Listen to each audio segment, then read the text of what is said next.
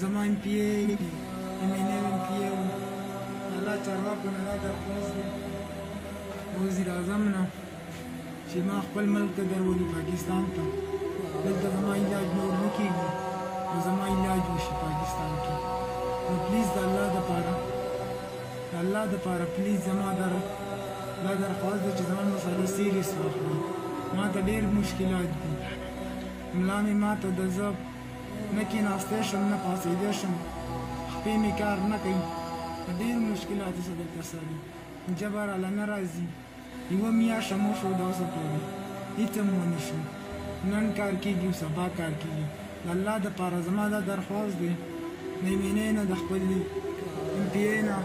د وزیر اعظم نه پلیز د الله دپاره زما سلار روباسي او ما پاکستان ته دروړي